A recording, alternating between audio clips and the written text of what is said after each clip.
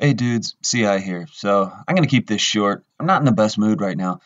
I was at a Timbers game last night, and surprise, surprise, it went terribly. I'm sad. I question why I even watch soccer.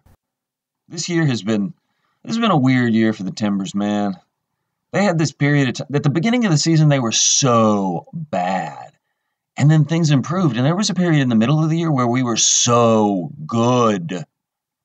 And now it's getting towards the very end of the year, and we've had all these home games, and we had these expectations. We were like, man, at the end of the year, when we get all these home games, we're going to crush the league.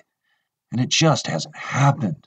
We've come home, we've got all these home games, and we've forgotten how to score. We went three full games at home without scoring a goal. Last night, it was the fourth game, and we actually scored a goal, and then we actually scored a second goal, and we were ahead 2 nothing with like 15 minutes left.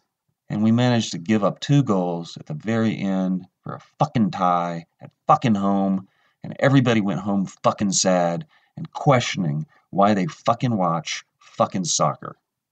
Soccer is an asshole who only wants you to be unhappy.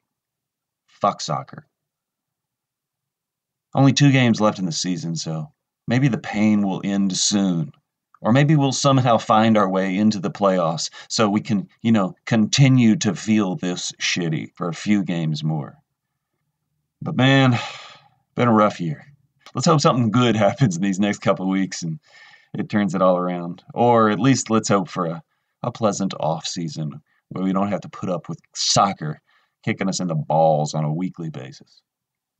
All right, dudes, that's it for me. I'll see you next week. Hopefully, I'll be in a better mood.